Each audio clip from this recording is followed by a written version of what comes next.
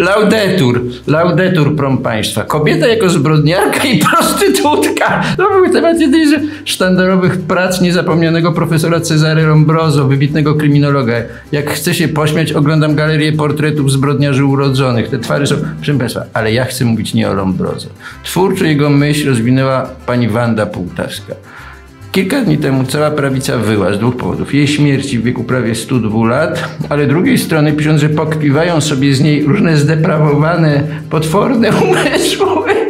A że jeżeli już kpią sobie z takiej perełki lukrowanej jak Półtawska, no to to jest koniec, koniec świata. Cóż nasza doktor Półtawska? Podobno miał olbrzymi, olbrzymi, de decydujący wpływ na teologię seksualności, teologię ciała Jana Pawła II. To ona doprowadziła podobno do tego, że Watykan ostatecznie wycofał się z jakiejkolwiek legalizacji choćby najbardziej lajtowych środków antykoncepcyjnych. Mi osobiście najbardziej się podoba porównanie przez tę świętą, prawie świętą, no bo oczywiście Santa Subita.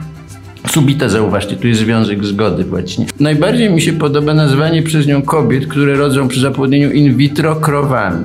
Wymyśliła też kolejny holokaust. No bo dwa katolickie holokaust to jest tak, holokaust Żydów i aborcja jako holokaust gorszy od tego holokaustu. No bo to w katolickiej doktrynie. Ona wymyśliła jeszcze trzeci prezerwatywy, tabletki antykoncepcyjne i antykoncepcja jako kolejny holokaust.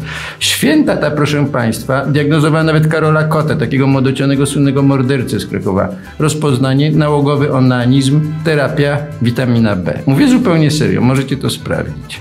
Co też jest piękne to postulat absolutnego zakazu rozwodów i penalizacji zdrady małżeńskiej. Proszę Państwa, więcej takich nam potrzeba, więcej takich nam potrzeba, a ja jako tutejszy błazen, doktor Gebhardt, będę mieć co robić.